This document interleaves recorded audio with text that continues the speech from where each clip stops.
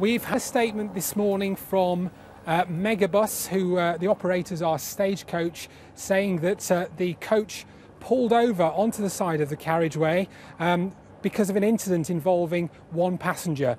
Now, for the last couple of hours, those passengers on that bus have been questioned in an enclosed area not far from here by members of the police. Uh, they were sitting down at some point waiting to be talked to as officers made their detailed notes on, on uh, clipboards. I can actually say now that all of those passengers, we believe, have been put onto another vehicle, a white coach, uh, we believe preparing to actually leave this site. So this incident does appear to be winding up. It started at half past eight this morning.